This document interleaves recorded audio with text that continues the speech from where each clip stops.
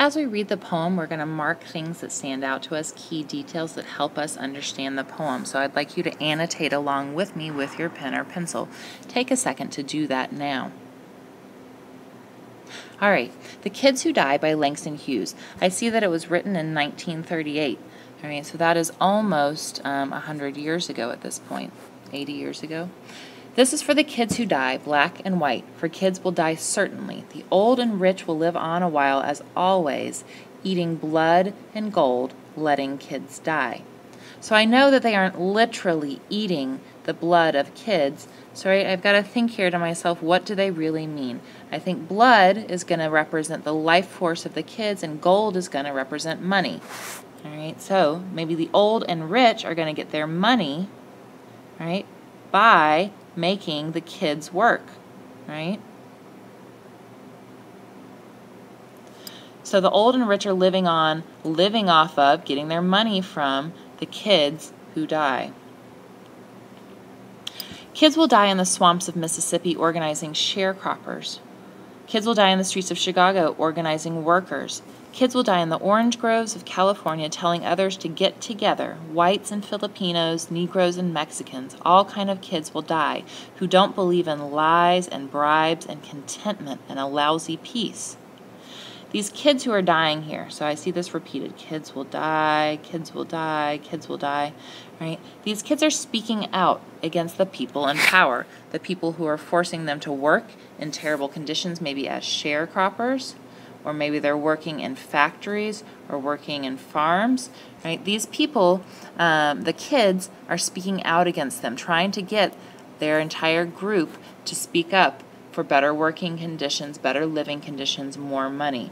These kids don't believe in lies, don't believe in bribes, and don't want to be contented.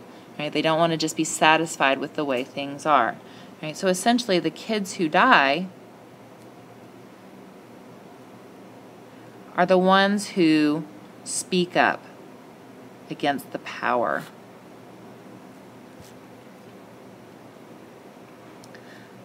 Of course, the wise and the learned who pen editorials in the papers, and the gentlemen with doctor in front of their names, white and black, who make surveys and write books, will live on weaving words to smother the kids who die. And sleazy courts and the bribe reaching police and the blood loving generals and the money loving preachers will all raise their ha- hands against the kids who die. I'm going to come back down here for a little bit and look at this. So we've got the gentlemen with doctor in front of their name, right? People who sit around and write, make surveys and write books. Right, they make editorials and papers. So these are maybe newspaper editors, um, people in colleges, right? They might be very smart, they might be learned, right? They're smart, but they aren't doing anything to help the kids. In fact, Langston Hughes is saying that they smother them, right? They smother them with their words. Right? So maybe these people aren't helping at all. Instead, they're actually hurting. And then he goes on to give us these descriptions of courts and police and general. Those are all people in power. Okay? Look at how he describes them. He describes them as sleazy, which is untrustworthy, bribe reaching, which means that they accept bribes, so they're untrustworthy, blood loving, right, that they're vicious. So these are terrible descriptions of the people in power. So the people in power are really corrupt. And that's how he's showing us there. Let's go back up here. We've got more. The money loving preachers will all raise their hands against the kids who die beating them with laws and clubs and bayonets and bullets to frighten the people. For the kids who die are like iron in the blood of the people. And the old and rich don't want the people to taste the iron of the kids who die, don't want the people to get wise to their own power, to believe in Angelo Herndon, or even get together. Okay, so up here I see that the people in power, right, so the power, powerful, let's call them the powerful, are beating these kids who speak up against them with their laws, but also with clubs and bullets. All right? So the powerful are hurting those beneath them.